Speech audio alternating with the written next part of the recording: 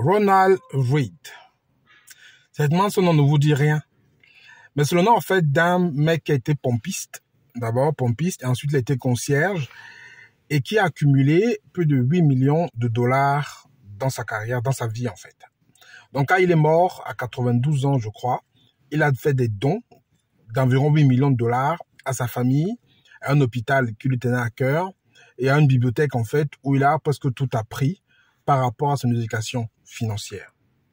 Donc c'est un mec en fait qui a vécu une vie assez sobre, une vie assez incognito, voilà, qui s'habillait n'importe comment, qui a été assez frugal, mais qui avait une intelligence financière hors norme. Malgré le petit salaire qu'il avait, entre guillemets, un hein, petit salaire qu'il avait par rapport au métier qu'il exerçait, il a pu se construire une fortune de plus de 8 millions de dollars. Les cas comme ceux de Ronald Reed, bon, j'en parlerai demain à la masterclass hein, qu'on va organiser. On va peu analyser son éducation financière pour permettre de vous en inspirer. Mais les cas comme Ronald Reed, il y en a des cas comme ça un peu partout. De l'autre côté, nous avons des cas comme ceux de Michael Jackson, Mike Tyson, des personnes qui ont amassé des millions et des millions, en fait, durant toute leur vie, mais qui ont été complètement fauchés à un moment précis parce qu'ils n'ont pas cette éducation financière. Ils n'ont pas su comment gérer cette somme d'argent qu'ils avaient accumulée. Je mets dans le même panier les personnes qui gagnent la loterie. Les personnes qui gagnent des millions et des millions à la loterie nationale ou je sais pas, quelques jeux de hasard. Et ils finissent le lendemain complètement broke, complètement ruinés alors qu'ils ont amassé des millions. Et de l'autre côté, on a des personnes Corona Read, d'autres personnes qui gagnent des petites, un peu d'argent, mais qui réussissent à épargner, à investir de façon intelligente et à augmenter leur fortune. Qu'est-ce qui, à votre avis, fait la différence entre des personnes comme Ronald Reed ou des personnes comme Mike Tyson et Michael Jackson qui gagnent la loterie? C'est l'éducation financière. C'est comment est-ce qu'ils sont éduqués financièrement. L'éducation financière peut complètement changer votre vie. Donc, comme je dis, peu importe ce que vous gagnez, ce qui est important, c'est ce que vous faites avec ce que vous gagnez. Vous avez vu ce jeune, comme je dis, en fait, ce jeune, ce personne, personne, Ronald Reed, avec ce qu'il gagnait, le peu gagnait, il avait assez d'intelligence pour pouvoir investir et faire fructifier son argent. De l'autre côté, vous avez des personnes qui gagnaient des fortunes, mais qui n'ont pas su comment fructifier cet argent. Donc, dites pas aujourd'hui, je gagne que 1500 euros, je ne gagne que 2000 euros, je ne gagne que 3000 euros, je ne gagne que, je sais pas, un million. Ce qui va faire la différence, c'est ce que vous allez faire des 2000 euros, des 3000 euros, des 1 million de francs CFA, peu importe que vous gagnez. C'est ça qui va vous différencier et par rapport à celui qui va gagner des milliards, des millions, mais qui ne saura pas comment les gérer. Donc, on va parler d'éducation financière demain.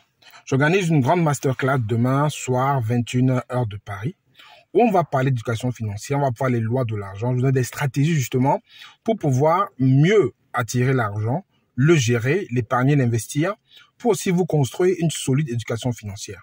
Donc, si ça t'intéresse de pouvoir participer à cette masterclass offerte, il y a le lien d'inscription en bas en dessous de la vidéo. Tu vas t'inscrire et on se retrouve demain à 21h, heure de Paris, pour parler de questions financières.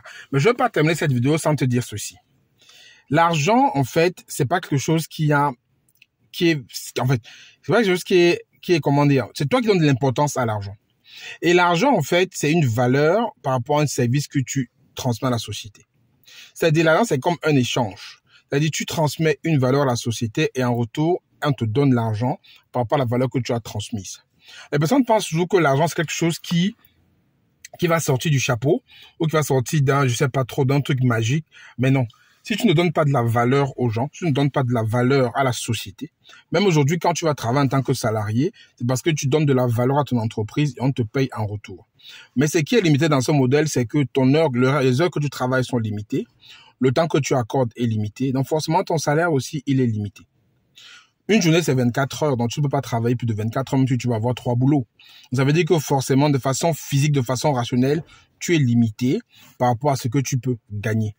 Donc tu comprends bien que si tu veux gagner beaucoup plus aujourd'hui, il faut que tu trouves un modèle en fait qui permettra de pouvoir gagner de l'argent beaucoup plus avec le même temps que tu accordes aujourd'hui en tant que salarié ou autre activité que tu exerces.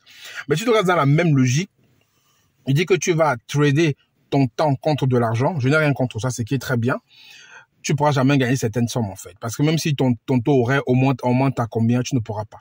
Donc on va parler de tout ce genre de modèle là demain lors de la masterclass. Je vais expliquer ça en détail. Donc, viens demain et je répète encore que ce n'est pas important ce que tu gagnes, c'est ce que tu fais avec ce que tu gagnes. L'histoire de Ronald Reed nous montre bien ça. Donc, inscris-toi pour demain. Je t'y attends. On va parler d'éducation financière. Je pense que tu auras beaucoup de valeur et que tu ne regretteras pas d'avoir participé à cette masterclass. À demain. Je t'y attends. Ciao, ciao.